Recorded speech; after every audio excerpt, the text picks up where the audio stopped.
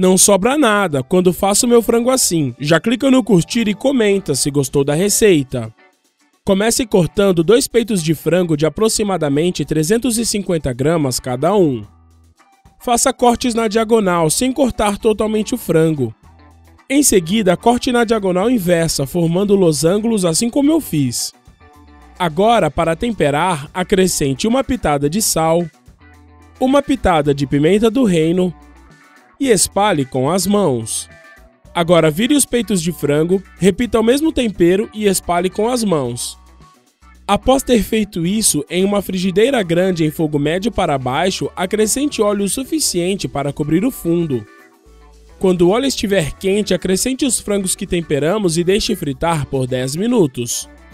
Com cuidado para não queimar e, se for necessário, abaixe a potência do fogo. Depois desse tempo, vire os frangos e deixe fritar por mais 10 minutos ou até que fiquem bem dourados.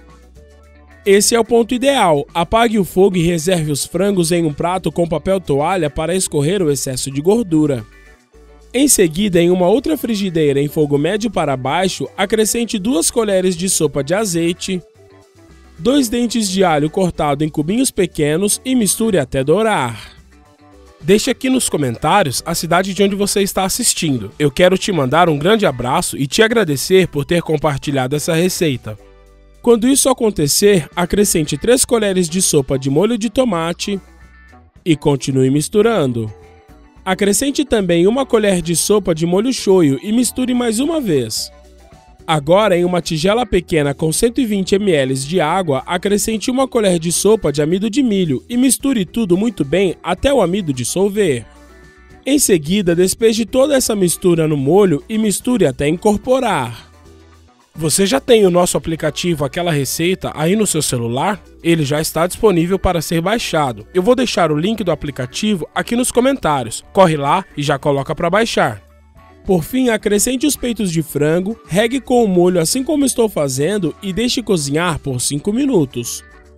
Se você chegou até aqui, é sinal que está gostando da nossa receita. Então, já clica no botão compartilhar e compartilhe esse vídeo com todos os seus amigos. Para você, não vai custar nada e para nós vai fazer toda a diferença. Após ter passado esse tempo, o frango e o molho já cozinharam. Aquela receita já está pronta. Você pode se servir e se deliciar. Eu espero demais que você tenha gostado dessa receita. Agora eu vou voltar lá para os comentários e continuar respondendo a todos que deixaram o nome da sua cidade e te agradecer por ter compartilhado essa receita. Até a próxima receita. Tchau!